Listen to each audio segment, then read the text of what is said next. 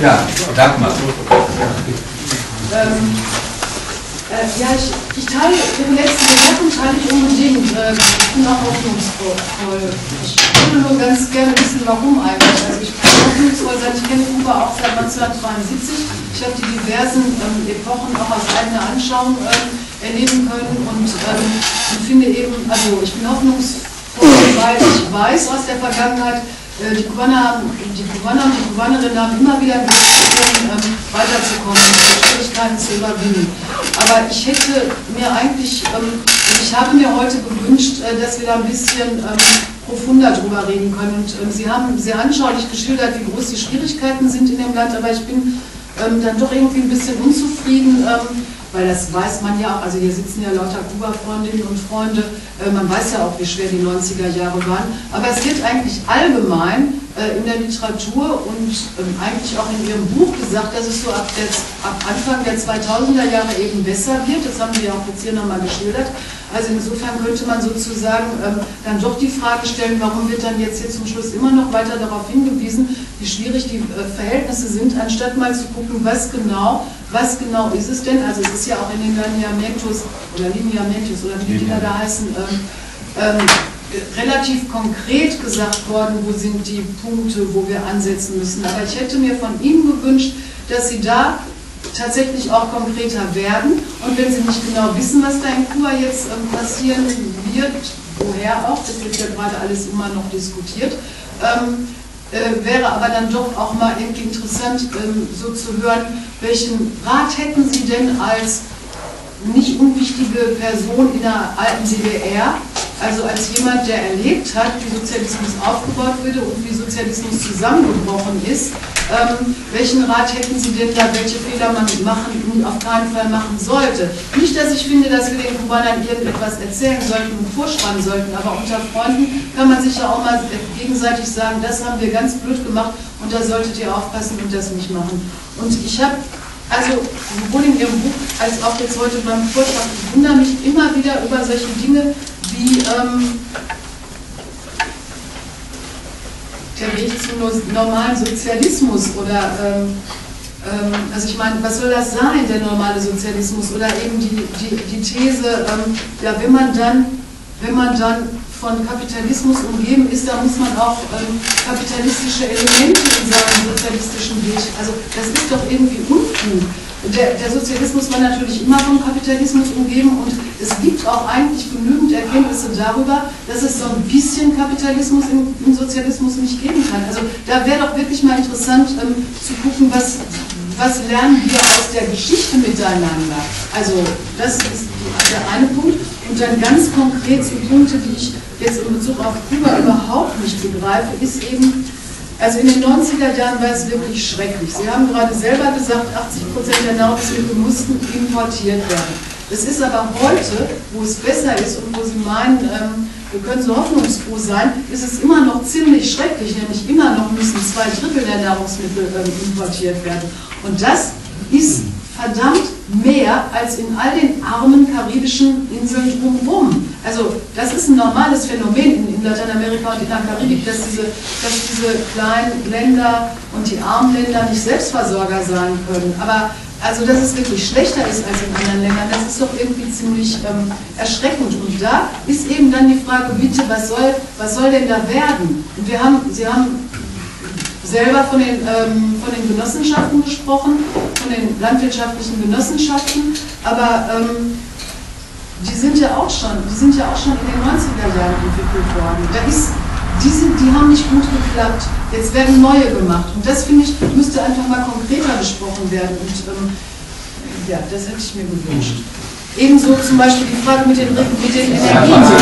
Nein, nein, das muss ich jetzt noch sagen. Also ich finde es einfach vollkommen ja, wir haben uns das ja jetzt auch gerne angehört. Nein, doch, aussprechen, weiter. Mit den, mit den Energien ist in den 90er Jahren unter der schrecklichen Armut ganz, ganz interessant viel gemacht worden mit regenerativen Energien, mit kleinen Projekten, wo sehr viel bei rumgekommen ist, die auch effizient gearbeitet haben. Und ich fand auch sehr ähm, faszinierend und beeindruckend, dass, dass ähm, dass man merken konnte, es hat immer Wissenschaftler, Wissenschaftlerinnen gegeben in Kuba, die an diesen Bereichen arbeiten konnten. Die wurden nicht groß gehypt in der Zeit äh, vor dem Zusammenbruch des äh, Sozialismus, aber ähm, die, die, hatten Arbeitsplätze, die hatten Forschungskapazitäten, die konnten arbeiten. Dann, als es in den 90er Jahren so schwer wurde, ähm, konnten diese Leute mit grüner Technologie äh, wirklich arbeiten. Die haben sehr, sehr viel bewirkt in diesen 90er Jahren. Und ich würde gerne wissen, ob das weitergeht oder ob jetzt die Tatsache, dass die große Hilfe von Venezuela gekommen ist mit dem Öl und die auch eine relativ gute Hilfe von Brasilien und sehr viel Hilfe aus China, ob das bedeutet, dass ich finde eben sehr viel vernünftigeren äh, Wege alle wieder aufgelöst worden sind. Also Sie selber reden in Ihrem Buch und haben auch heute Abend äh, geredet von modernen Maschinen, von modernen Generatoren, die unabhängig vom nationalen Netz arbeiten können. Aber was heißt das denn? Dann wird da Benzin reingegossen oder was? Also ich meine, wie arbeiten die denn diese Generatoren? Das wäre doch interessant zu wissen, auf welcher Basis wird da die Energierevolution vorangetrieben? Was passiert da eigentlich? Und genauso die Frage mit der Umverteilung. So wie Sie die heute Abend angesprochen haben, bin ich da sehr unzufrieden mit. Es mag sein, dass da wegen der großen Subventionierung große Schwierigkeiten entstanden sind und dass man das heutzutage anders angehen muss. Aber es kann nicht sein, dass man so tut, als gäbe es da nicht arme Leute, die eben keine Bezüge aus dem Ausland haben und nicht in der, in der, in der Tourismusindustrie arbeiten oder im Tourismus arbeiten und die genau darunter leiden, wenn da jetzt Markt marktgesetzmäßig ähm, ähm, die Preise erhöht werden. Ich glaube, ich meine, das war schon fast äh, ein eigener Vortrag fast. Da war noch eine Wortmeldung, vielleicht fassen wir noch ein, zwei Wortmeldungen zusammen und dann kannst du vielleicht äh, zusammen da antworten. Bitte. Ich werde aber auch wahrscheinlich anknüpfen an die eine oder andere Frage, die es Bedürfnis mich zu melden. Äh, das ist aber nicht so wirklich eine Frage. Wenn jemand wirklich Wissensfragen hat, würde ich vorlassen. Jetzt muss ich dazu Stellung beziehen, weil ich glaube schon, dass das notwendig ist. Okay, du hast eingeleitet mit, äh, es gibt in den, also jetzt, Bill hat eingeleitet mit, es gibt äh, äh, drei verschiedene Grobeinschätzungen, wie Menschen, auch Kuba-Freunde, äh, den Aktualisierungen gegenüberstehen. Das ist irgendwie Angst davor, dass der Sozialismus schon weg sei, dass er dann auf dem Weg sei zu verschwinden. Oder die äh, Linie, die sich eher als gelassen war, glaube ich, deine äh, Wortwahl äh, äh, vertreten. Ich möchte mich einmal ganz kurz für die Linie der äh, Gelassenheit aussprechen das auch begründen. Ich glaube, das hat auch äh, der Kollege Langer hier vor Ort getan, meiner Meinung nach auch sehr sinnvoll. Ähm, wir haben wenig über die konkreten Aktualisierungen heute gehört, das heißt, ich muss voraussetzen, dass wir ein paar Sachen davon einfach kennen und wissen bereits hier im Raum. Äh, ich, gehe, ich glaube, dass ein zentraler Punkt von vielen diesen Aktualisierungen sehr wohl erstmal einen groben marktwirtschaftlichen Charakter haben. Und das ist grober Unfug zu behaupten, dass ein Sozialismus nicht äh, äh, auch äh, eine sozialistische Ökonomie nicht auch marktwirtschaftliche Elemente hätte. Also selbst ein Albanien unter Enver Hoxha hatte zu krassesten Zeiten mindestens 7% des Bruttosozialproduktes aus marktwirtschaftlicher Produktion. Äh, äh, und äh, in der DDR waren es bis zu 40 Prozent. Also da kann man nicht sagen, dass es eine reine sozialistische Produktion hundertprozentig je erfüllt gewesen wäre äh, um das daran zu messen. Ähm, wichtiger finde ich doch die Frage, ist der sozialistische Charakter der, äh, der Produktion in Kuba im Allgemeinen, im Gesamten erhalten. Und dann finde ich das äh, interessant, wenn der Kollege Langer sagt, äh, es musste wieder nach der, und deswegen finde ich es auch schlüssig, dass er über diese harten Epochen redet, es musste wieder hin zu einer Planwirtschaft gekommen werden, die in der, in der Periode Especial nicht möglich war äh, und danach wurden äh, Erneuerungen im Energiewesen gemacht, das im Jahr 2008 schon wieder die Situation war, dass man auf dem Devisenmarkt irgendwie mit nichts dastand und äh, ebenfalls eine langfristige Produktion nicht so einfach möglich ist. Also ist es für mich total schlüssig, genau diese Sachen jetzt hier anzusprechen. Was können wir als Kuba-Freunde überhaupt mit diesen Informationen anfangen? Wir können jetzt natürlich die einzelnen Instrumente, die äh, beschlossen werden, beschlossen worden sind, durchgehen. Öffnung für kleine Kooperativen bis zu zehn Angestellte und so weiter. Äh, äh, und dann diskutieren, ist denn, sind die Kontrollmechanismen, die die Kubanerinnen und Kubaner beschlossen haben, sozialistisch genug für uns? Finde ich aber ganz schön vermessen, wenn man irgendwie andenkt, dass wir die Gesamtdiskussionen, die auf Kuba geführt worden sind, ich meine, Zeit über mehrere Jahre, nicht nachvollziehen können. Und keiner von uns hier wird auch Experte genug sein, irgendwie äh, äh, in, Bewusst in der Erforschung des Bewusstseinsstand der kubanischen Bevölkerung oder nicht. Ich glaube, dass wir festhalten können, dass es äh, äh, eine Planmäßigkeit ist, hin zu einer, äh, den Plan, die Planwirtschaft wieder zu erfüllen und dass diese Instrumente dafür genutzt werden, reale Marktwirtschaft, die heute noch oder gestern noch im Bereich der Schattenwirtschaft gelaufen sind, Korruption, Schwarzmarkt etc., in einen öffentlichen Bereich zu holen und unter öffentliche Kontrolle zu stellen. Du hast das Beispiel genannt mit, den, mit dem Rechnungshof, der gemacht wird. Äh, äh, so hat ebenfalls der Kollege Cadillo, Genosse Cadillo, äh, äh, der letztes Jahr hier im Raum war, äh, auch argumentiert gewesen. Äh, und ich glaube, dass das die interessanteste Frage ist, die wir uns hier stellen können. Dann hatte sich der Günther noch gemeldet und dann würde ich sagen, gebe ich wieder das Wort an den Vortragenden. Also, kann auch erstmal machen, das war auch dem Ja, oder willst du jetzt gleich mal? Ja, das sind noch nicht.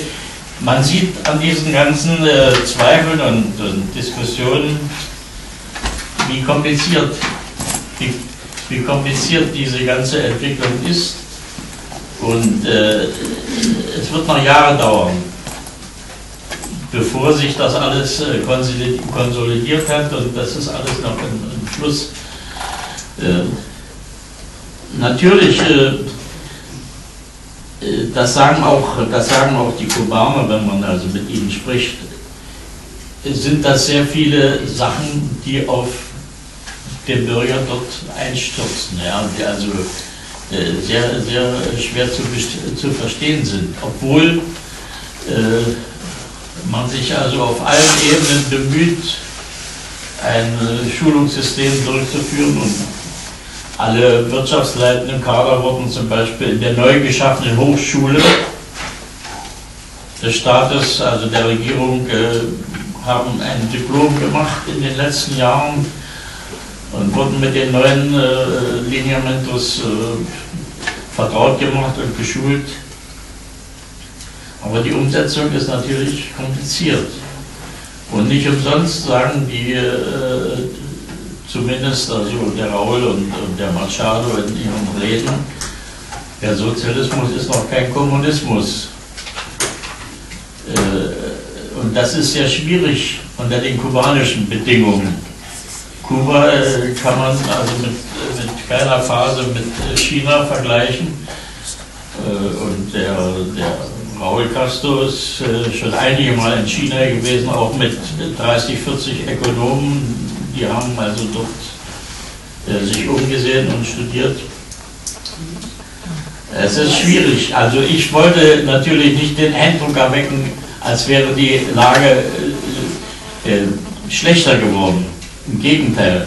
Es ist eine Konsolidierung vorhanden, wo also äh,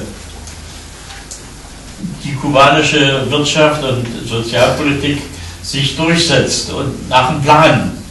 Der Plan ist natürlich etwas äh, hochgegriffen, sodass also bei jeder Abrechnung äh, einige Prozente, Prozentpunkte in der Erfüllung fehlen und der Eindruck entsteht, äh, dass die Wirtschaft sich nicht entwickelt. Aber absolut gesehen gibt es immer einen Zuwachs in den letzten Jahren.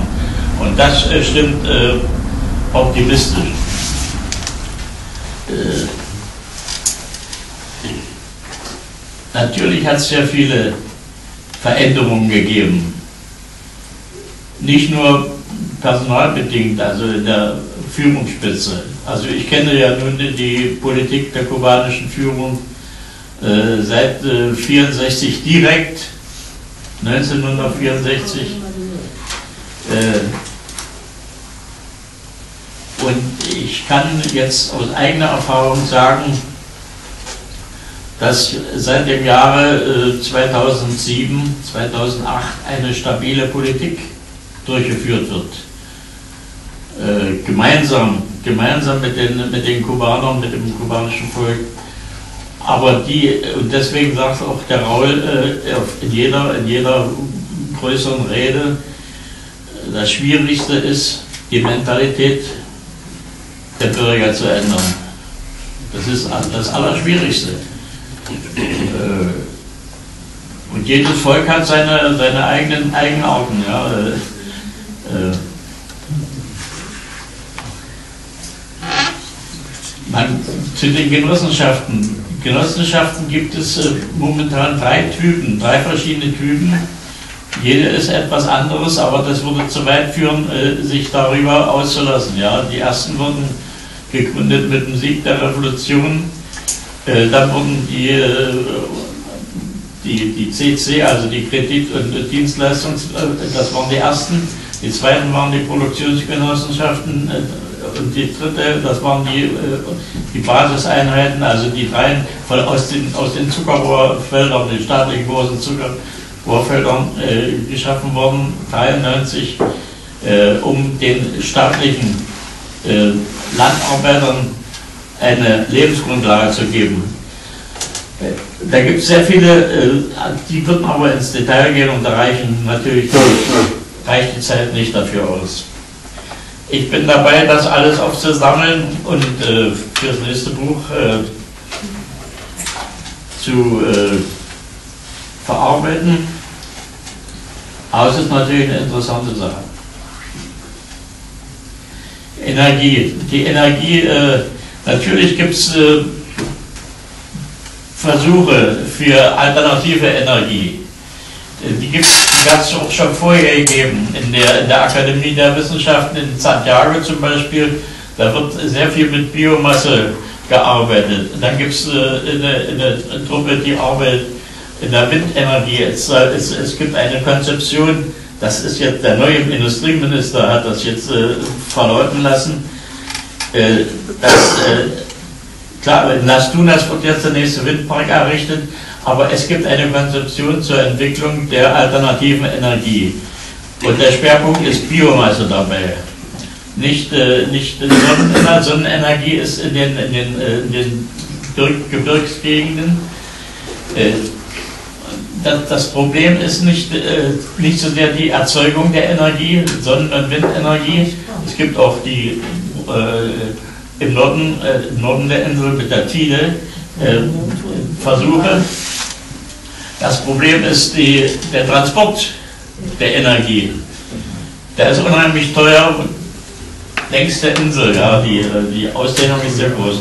Da gibt es sehr viele, sehr viele Probleme, äh, die würden so weit führen. Die sagen selber, die, das letzte Mal hat der Genosse Machado gesagt, also äh, wir bauen unseren Sozialismus auf und brauchen keine Ratschläge von außen. Und äh, so ist es auch. Äh, das ist schwierig von außen, dass äh, jedes Land hat andere Bedingungen. Mal sehen. Ich bin der Meinung, dass die Kubaner sich dadurch äh, nicht, nicht äh, das, wenn man mit Kubanern spricht, dann äh, kriegt man natürlich auch zum Teil andere, andere Eindrücke. Ja. Äh, ich gehe davon aus, ich muss die Politik der Partei und der Regierung untersuchen. Das ist ja das, was ich schließlich durchsetzen muss.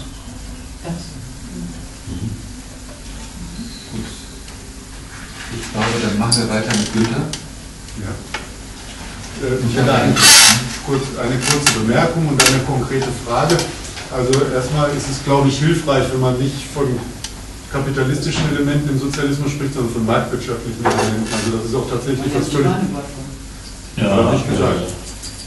Ich habe das nicht gehört. Also ich meine irgendwie, es geht um marktwirtschaftliche Elemente und das natürlich Marktwirtschaft und Kapitalismus sind keine Synonyme. Das ist natürlich klar. Das ist, glaube ich, schon wichtig. Aber ich habe ähm, eine konkrete Frage und zwar zu den Plänen. Also weil das ist mir jetzt auch nicht so deutlich geworden und äh, ich habe auch mal versucht, mich damit ein bisschen zu befassen, bin da nicht wirklich draus schlau geworden. Heinz, wenn du kurz sagen kannst, wann es genau, von wann bis wann es fünf Jahres oder sonst welche Pläne überhaupt gegeben hat auf Kuba, weil zumindest nach meinem Dafürhalten, also aller Bescheidenheit, ich habe da eigentlich noch nie wirkliche Pläne gesehen, also die jetzt äh, zum Beispiel fünf Jahre lang von dann bis dann irgendwie galten, weil wir haben, gut, ach, die Antwort überlasse ich dir. Also ich wollte nur mal fragen, ob ich da irgendwas übersehen habe, aber ich finde irgendwie, es gibt eigentlich nie aus verschiedenen Gründen eine geordnete Planwirtschaft, ob sie mit Hurricanes, mit Sonderperiode, mit äh, Blockade zu tun hat, wie auch immer, dass es schwierig ist, aber gibt es sie oder gibt es sie nicht? Ja. Willst du gleich? Ja, okay. Also Plan, Plan, der erste Fünfjahrplan, der erste Fünfjahrplan wurde erarbeitet im Herbst äh, 1974. Da war ich zufällig dort äh, mit einer, mit einer äh, Delegation, die den Auftrag hatte, dem Fidel zu erklären, dass die Wirtschaft der DDR kein Zentrum Warenhaus ist. Nachdem der große, große äh,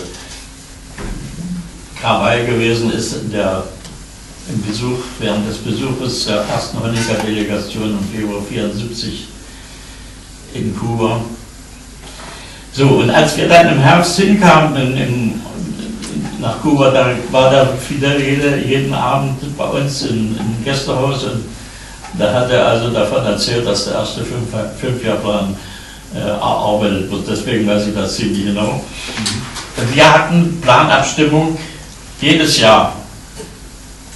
Es gibt Jahrespläne und dann gab, gab es die Fünfjahrpläne, die wurden immer abgestimmt zwischen den sozialistischen Ländern, weil da meistens immer große Investitionsobjekte, äh, äh, schlüsselfertige Anlagen und so weiter mit, äh, und auch die Preise und, und werden Lieferungen, Zuckerlieferungen und so weiter.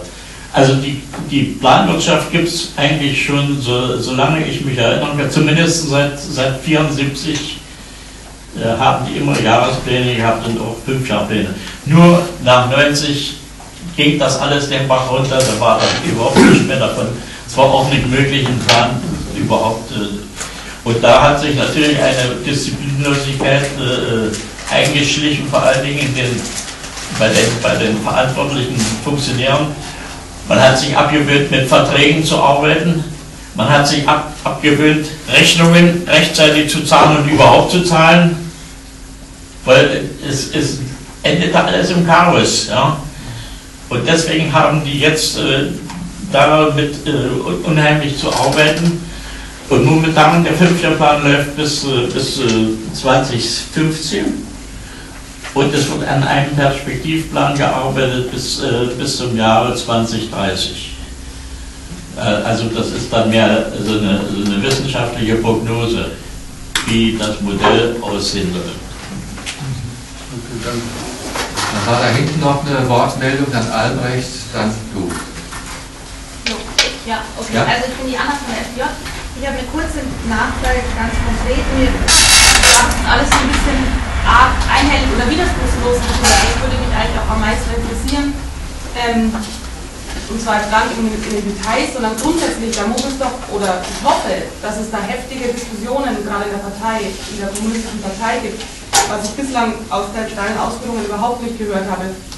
Und was ich deswegen sehr beruhigend fände, wenn es sie gäbe, aber bisher auch eben selbst darüber nichts lesen konnte, weil klar kann man sagen, der Sozialismus steht fest in der Verfassung oder sonstiges, aber ich glaube, wir alle wissen sehr gut, dass der Sozialismus eine sehr hart umkämpfte Angelegenheit ist, in der heftige Widersprüche aufeinander knallen können und das auch verloren gehen kann. Und sich mir schon auch gerade aufgrund meiner Ausführungen die Frage stellt, ob nicht der Weg, also jetzt unabhängig davon, ob das einzelne marktwirtschaftliche oder kapitalistische Element das Richtige oder Falsche ist, aber immer ja die Frage im Hintergrund steht, welcher Weg wird eingeschlagen, der sozialistische oder der kapitalistische Weg. Und mir deine Ausführungen da insofern tatsächlich eher Sorge als äh, Beruhigung bereiten, weil ich auch den Eindruck habe, dass ein, glaube ich, ganz wichtiger Punkt etwas immer mehr in den Hintergrund tritt in Kuba, die Frage dessen, dass das Politische das im Vordergrund stehende sein muss. Also nicht nur die ökonomischen Fragen, sondern insbesondere auch die politische. Und deswegen die Frage, gibt es da nicht heftige Diskussionen hoffentlich über den grundsätzlichen Einschlag, äh, den grundsätzlichen Weg, den man da einschlägt und ob du darüber was gesagt hast. Ich würde sagen, gesamt. Du verstanden? Ähm. Also, ob der Sozialismus. Es war, glaube ich, so, dass sie gemeint hat, dass ob da nicht eine heftige Debatte ist in der Ober- und Politebene, ähm, was die Priorität hat. Der wirtschaftliche Bereich und Kompromisse im wirtschaftlichen Bereich danach, oder ob das Politische nicht doch prioritär zu sein hat. War das ja etwa so? Ja. Das hängt zusammen. Das ist klar. Natürlich gibt es Debatten. Und äh, die sind äh, oftmals sehr heiß bei den, bei den kubanischen, äh, aber äh, äh, im Prinzip sind sie sich einig. Okay. Das, äh, das ist also schon seit Jahren, also seit, den 14, seit, seit Partei gegründet worden ist, also als einheitliche Partei, äh, 64, 65 ist das klar, der Sozialismus wird aufgebaut. Bloß äh, wie? Da sind natürlich in jedem, jedem Land die Bedingungen anders und darüber wird diskutiert. Vielleicht noch eine eine Ergänzungsfrage. Gibt es denn da, sagen wir mal, eine, auch eine meinungsmachende Bereich in der, in der, in der kommunistischen Partei zum Beispiel oder in den Führungskreisen, äh, die gegen diese marktwirtschaftliche Öffnung, die ja auch praktisch eine, Notwendigkeit ist, um, um zu überleben in der Situation, die Dollarisierung auch eine Notwendigkeit war, die da opponiert oder heftig ähm, Ja. dagegen arbeitet? Sicherlich gibt es Diskussionen, deswegen diskutieren die immer. Solche prinzipiellen Fragen die diskutieren die immer mit jeder, mit jedem Wohnblock, also mit jedem, mit jedem Bürger werden die diskutiert. Aber im Grunde genommen sind sie sich darüber im Klaren. Es, diese, diese sogenannten Öffnungen, die, die man, sind eigentlich gar keine Öffnungen, ja, im Grunde genommen. Äh, die sind nur dazu da, den den Staat effekt, effektiver zu machen, dass er sich wirklich um die Grundlagen des Sozialismus kümmern kann und nicht um den Stempel für irgendeinen Handwerker. Äh, Das im Grunde genommen sieht das auch jeder Kubaner ein, dass die ganze staatliche Bürokratie sich nicht um, um, um, um Sachen kümmern kann, äh, die das, das, die, die das gesamte System nicht voranbringen. Ja. Also es ist ja auch nicht gesagt, und deswegen habe ich ja auch vorhin gesagt, die, die, die Arbeit auf eigene Rechnung, eigentlich ist die Strategie, liegt die in den, in den Genossenschaften, dass die Genossenschaften, es wird, wird von diesen drei Arten äh, landwirtschaftlicher Genossenschaften und die jetzt entstehenden Genossenschaften außerhalb der Landwirtschaft, die Erfahrungen des Genossenschaftswesens werden zusammen abstrahiert und es kommt ein, ein Genossenschaftsgesetz, das ist in Arbeit, welches die Grundprinzipien für alle Arten von Genossenschaften vereinheitlichen soll äh, und dann für alle Zustände sind. Das also äh, die Genossenschaften die Hauptform der nichtstaatlichen Tätigkeit sein werden. Und das ist auch nicht gesagt, wie lange das sein wird. Das hängt von der konkreten Entwicklungsbedingung ab. Natürlich kann man theoretisch viel festlegen, aber diejenigen, die selber mal in einem sozialistischen Land gearbeitet haben, die wissen ganz genau, wie schwer das ist, das alles durchzusetzen. Ja. Theoretisch ist vieles klar. Albrecht? Und dann Ich habe eine Frage zum Verhältnis der, ich nenne es mal so allgemein Kopfarbeiter und Handarbeiter. Kuba ist ja etwa äh, durch seine Ärzte und äh, Pädagogen äh, qualitativ und quantitativ sehr gut aufgestellt. Und auf der anderen Seite fehlt es schon seit Jahren an Leuten, äh, die äh, in der Landwirtschaft, Bäuerinnen und Bauern und äh, Sie haben gesagt, von, im, im produzierenden Bereich, jetzt soll der Hafen irgendwie da gebaut werden und da fehlt es auch an Leuten, die da arbeiten wollen und jetzt gibt es Anreize. Meine Frage dazu, wie neben dem subjektiven Faktor, ich stelle mir es auch schöner vor, im Krankenhaus zu arbeiten, von dem, was ich da auch gesehen habe, gegenüber dem, wie es da in der Landwirtschaft teilweise aussieht. Äh, Wie sieht es denn jetzt im Materiellen? Sie haben von den Anreizen gesprochen.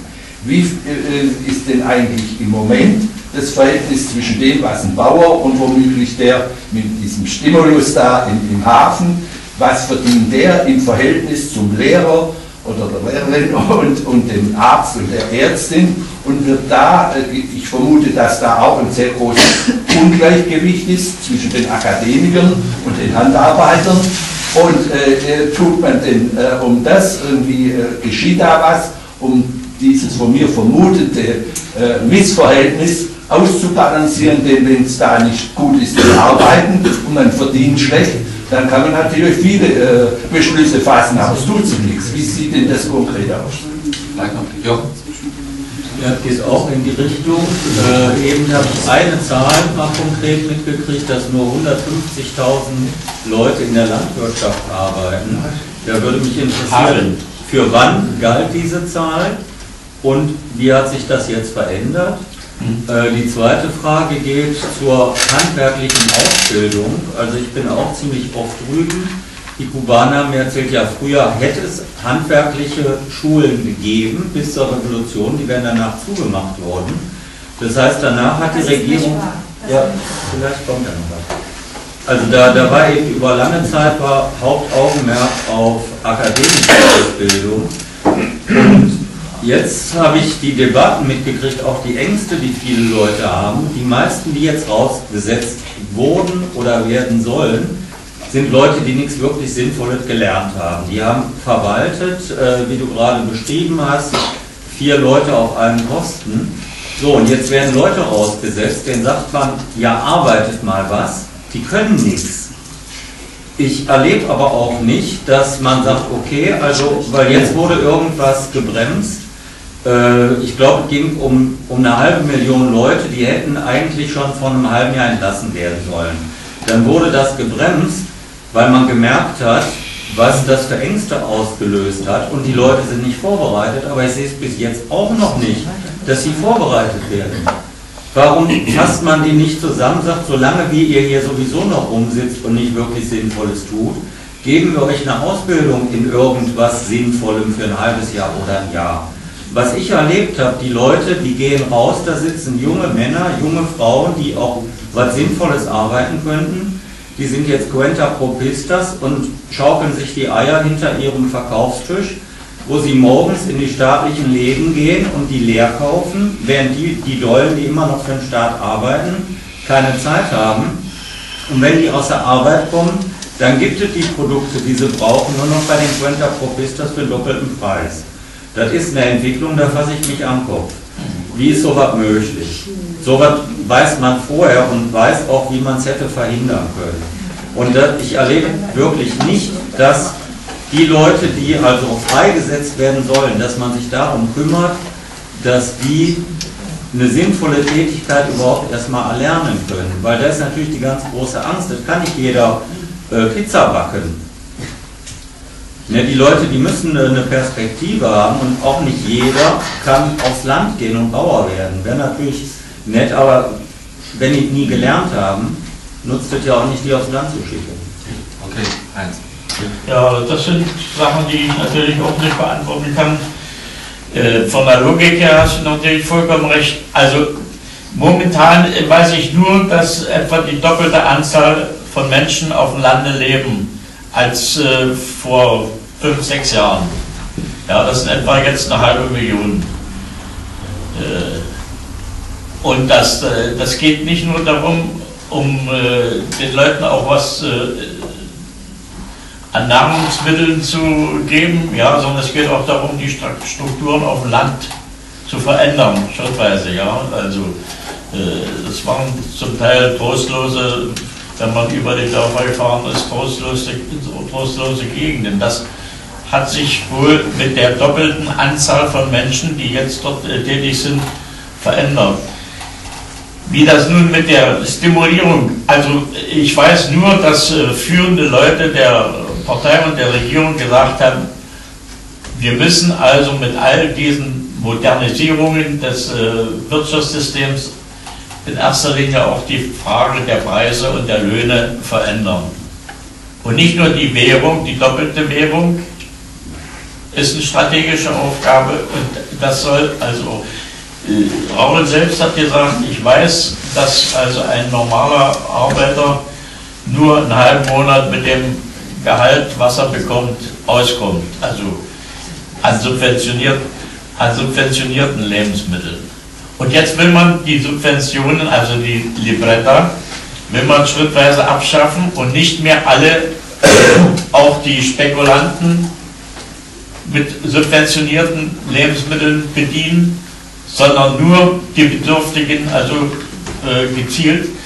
Äh, Das sind einige Sachen, die sind vollkommen in Veränderung und kann ich dir jetzt wirklich nicht sagen, wie der Stand ist. Auf jeden Fall arbeiten die, das weiß ich zum Beispiel aus äh, meinen letzten Gesprächen, die ich hatte, die Leute, die zum Beispiel in, der, in den Organokonikos in den Städten arbeiten, die verdienen etwa äh, äh, 1200, 1300 Peso ja, und ein normaler Angestellter, Angestellter, der durchschnittliche Lohn ist gegenwärtig äh, 556 oder 546 Peso. Äh, da gibt es große Unterschiede. Große soziale Unterschiede und nicht von denen äh, äh, gesprochen, die äh, von Ausland äh, Währung, also Devisen bekommen. Ja, also der Kurs ist immer nach wie vor 1 zu 25. Äh, das sind alles Probleme, die, die in dieser Kommission gegenwärtig bearbeitet werden, des Ministerrates, und die natürlich gelöst werden müssen. Auf jeden Fall. Momentan sind sie noch nicht gelöst und ich weiß, ich habe leider keine andere Information.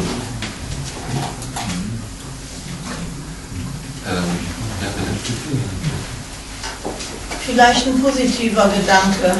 Wenn man also festhält, dass so zum Aufbau von Sozialismus Planwirtschaft gehört, dann kann man natürlich nicht alles planen.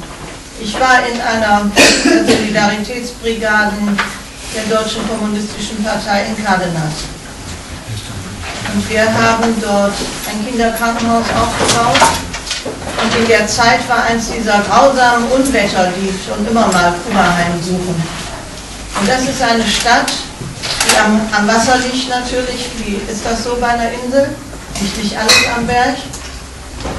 Und die Teile, die eben ständig unter Wasser, so ähnlich wie bei uns hier Holland und keine Deiche, die waren natürlich abgesoffen und die Leute hatten von einem Tag zum anderen keine Bleibe, nichts mehr, was sie da hätten retten können. Innerhalb von kurzer Zeit waren die Bauarbeiter, die in unserem Projekt arbeiteten, abgezogen, kamen andere Bauarbeiter aus anderen Projekten, kamen Menschen, die eine Wohnung brauchten, wurden von ihren Betrieben freigestellt. Und innerhalb von einem halben Jahr hat man diesen Menschen auf einem höheren Plateau dieser Stadt Cardenas eine neue Bleibe, nicht eine, nicht eine Hundehütte, sondern ein vernünftiges, normales Haus, wie ein Mensch, die auf Kuba sozusagen gewöhnt ist, wenn, es denn wenn er denn auf dem Lande wohnt oder in einer kleinen Stadt, das haben sie bekommen. Ich sagte ja, im, im Plan kann man nicht alles planen. Und jetzt gab es, also in der Zeit hat es viele Hurricanes gegeben, aber in diesem Jahr gab es wieder einen. Aber für die westdeutsche Wahrnehmbarkeit war der nur auf New York. Und säuft nun New York ab oder was passiert da? Hier ist von Kuba überhaupt nicht die Rede gewesen. Aber Santiago de Cuba, was auch tief am Wasser liegt, da sind Wohngebiete der Altstadt zerstört worden, da könnte einem das Auge tränen. Aber das muss doch im Plan bewirtschaftet werden und wieder neu aufgebaut werden. Wie passiert das? Ähm, direkt oder vielleicht noch eine Wortmeldung?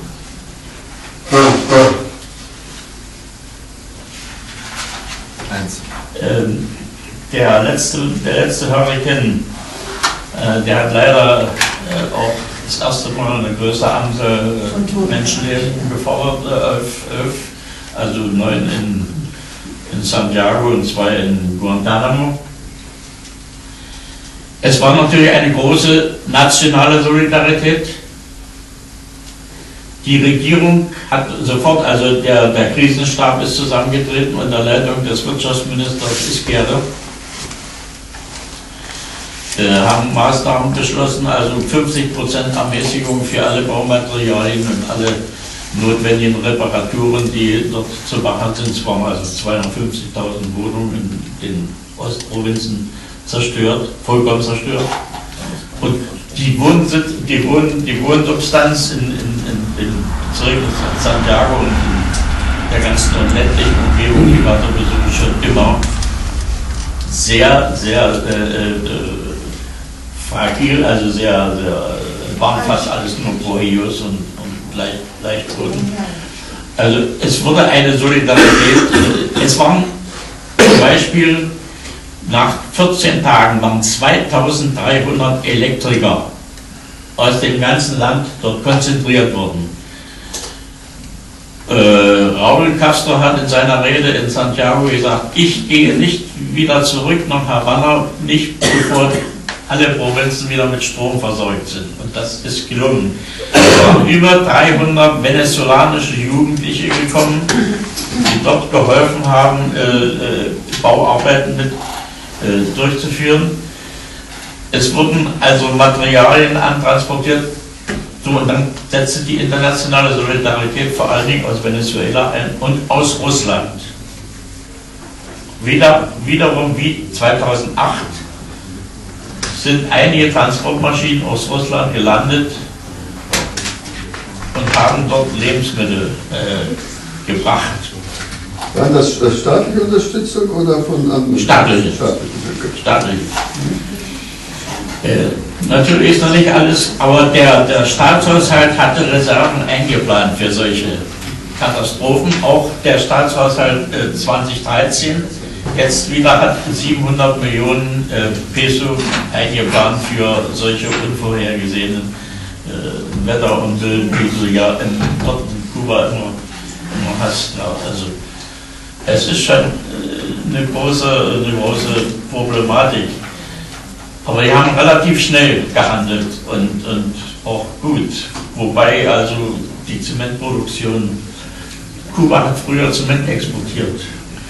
Wir haben in Cienfuegos ein, ein Zementwerk ge, gebaut mit einer Kapazität von 1,3 Millionen Tonnen pro Jahr. Äh, das hat äh, leider nur zu 50 Prozent produziert. Jetzt, äh, aber äh, Kuba hat Zement exportiert in die karibischen Inseln. Wann? Äh, in den 90er, vor 90er Jahren. Ja.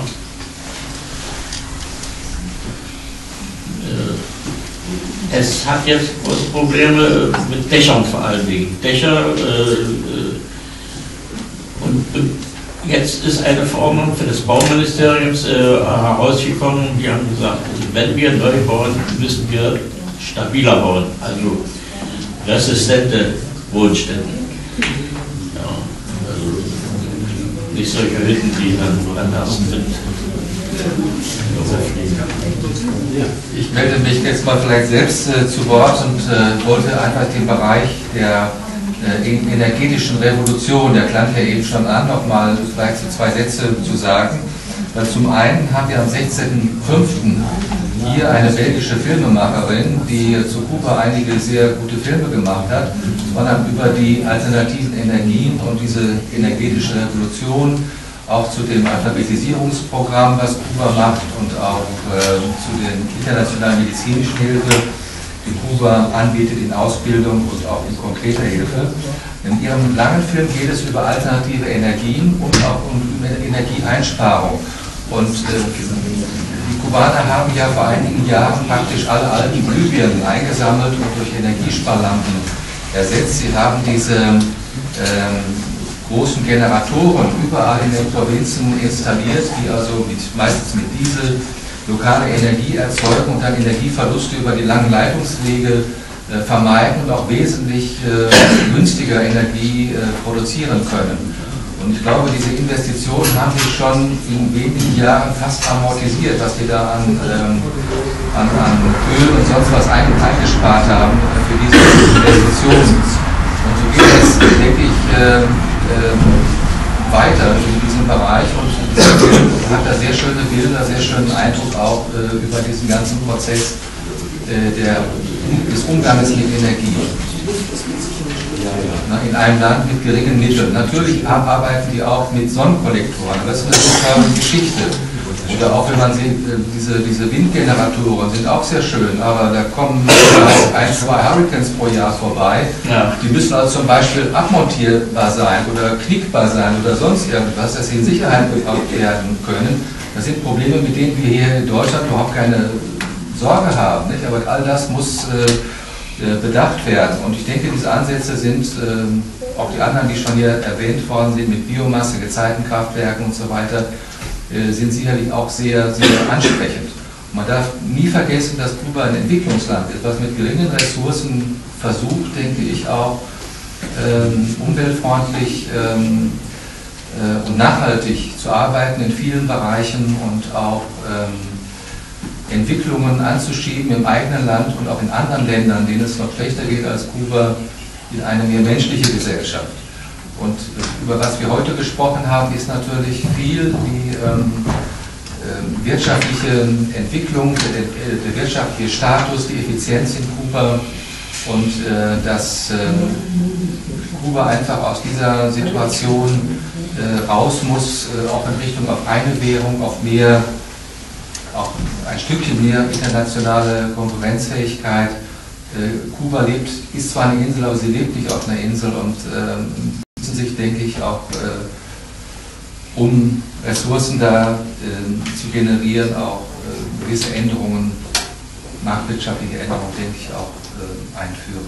Aber das wollte ich gar nicht sagen. Ich wollte also nur zur energetischen das ist, das das ist eine, eine, Sache, die sehr teuer ist. Die Energieumstellung, ja, also. Und äh, Sie haben natürlich durch die ALBA und durch die Kooperation mit Venezuela sehr große Vorteile, ja. Das war die, das war die große Rettung. Aber teuer ist es trotzdem und die haben natürlich, sie haben zum Beispiel Windkraftwerke in, in äh, Experimentierphase gehabt, abknickbare Windräder, äh, was die Franzosen äh, getestet haben auf ihren karibischen Inseln, die noch Kolonien sind das ist eine veraltete Technik. Äh, nachdem die Kubaner diese, diese Technik äh, übernommen haben oder gekauft haben, haben sie festgestellt, Entschuldigung, haben sie festgestellt, äh, dass, dass das nicht für, für Kuba gangbar ist. So, dann haben sie einen, einen, einen großen Windpark auf der Insel der Jugend installiert, gebaut. Und 2008, als die drei großen Stürme hintereinander über die Insel brausten, war der Windpark vergessen, weg. Äh, es ist außerordentlich schwierig, deswegen haben die von Anfang an auf Biomasse äh, gestanden. Und ich habe zum Beispiel selbst, ich war im Zuckerministerium äh, vor einigen Jahren und wir wollten da so ein Projekt realisieren, ähm, Ethylen auf, auf also Zucker, Zuckerrohr verarbeiten und, und äh, ja. Und zur gleichen Zeit hat Bush seine ganzen, äh, seine ganzen Autoerzeuger zusammengeholt und hat gesagt, warum wollt ihr andauernd unser schönes Erdöl ausbeuten? Ihr müsst mal die, den Mais und die andere Biomasse, die wir haben, äh, verarbeiten für Treibstoff. So, und einen Tag später kam eine äh, Reflexion von Fidel und hiermit beginnt die Welthungerkrise. Da hat natürlich kein Kubaner mehr daran gedacht, und, äh, Zuckerrohr zu verarbeiten, für, zu verfeuern. Ja. Das sind alles solche Sachen, äh, die sind vom Moment abhängig. Aber die Kubaner arbeiten daran, wie gesagt, vor Jahren haben sie begonnen mit Biomasse. Die Sonnenkollektoren, die, haben, die produzieren selbst in Pinar del Rio, haben eine Fabrik, die noch also vor 1980 entstanden ist. Äh, und versuchen jetzt erst in kleinen isolierten Einheiten in den Gebirge, im, im Gebirge ja, äh, äh die Schulen, die Schulen auszustatten und äh, damit also das äh, Schulprogramm durchgeführt wird. Es, ist, es wird daran gearbeitet, aber äh, dazu gehören eben große finanzielle, finanzielle und andere wirtschaftliche Potenzen. Ja. Das wird schon werden, äh, aber schon weiter. Elisabeth.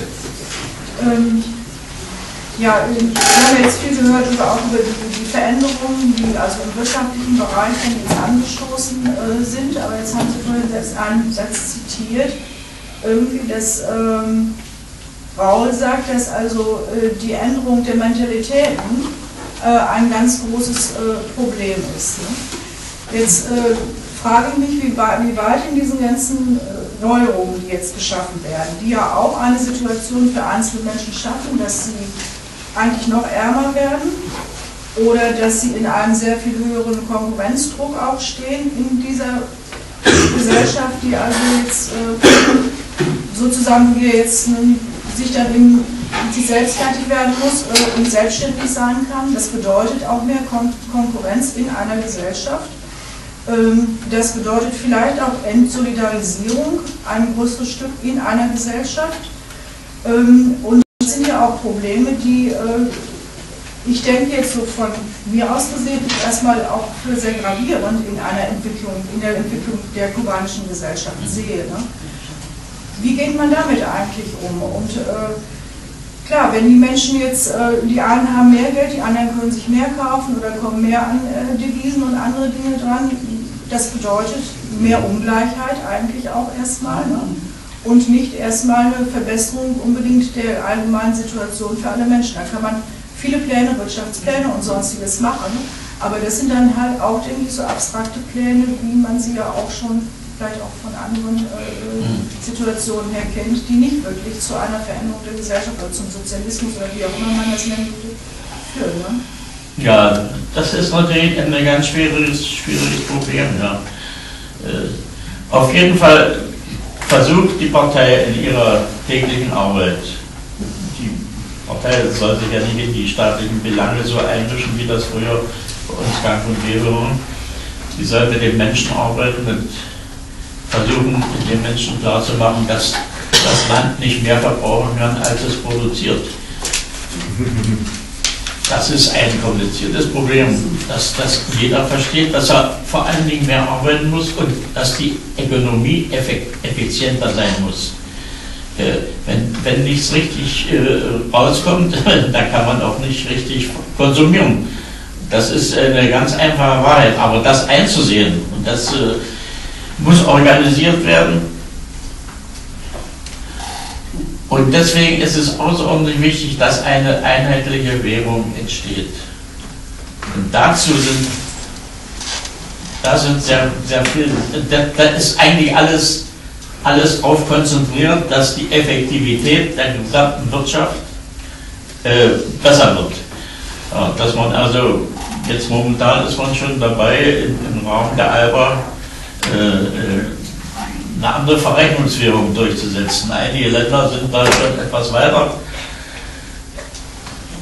aber das ist auch nicht die Endlösung. Da, daran arbeiten sie ja. Und die sagen auch selber, es ist also, äh, wir müssen das in, in Rechnung stellen, dass eine Differenzierung in der Gesellschaft äh, unter Kubanern, die an sich sehr einheitlich ist, einheitlicher als in, in irgendeinem europäischen Land, weil die Kubaner sind da ganz anders. Aber das ist, ein, das ist eigentlich das Hauptproblem, ja. Ja, ich denke, das geht nicht immer nur einfach, wenn man die Produktivität äh, steigert, also dass es allen irgendwie vom Gesamther gesehen dann besser geht, aber dieser konkrete Prozess innerhalb der Gesellschaft, dass man sich solidarischer fühlt, was ja auch dann sicher auch dazu geführt hat, oft mal, dass man diese äh, Probleme, die Hurricanes und sowas verursacht haben, dann auch wirklich äh, ähm, auch solidarisch lösen konnte. Ähm, da sehe ich so ein bisschen, also äh, auch das Problem, da weiß ich auch nie, wie, wie diskutiert man darüber. Also das muss man ja auch irgendwie sehen oder berücksichtigen, wenn man äh, so eine Veränderung einer Gesellschaft äh, sich anschaut.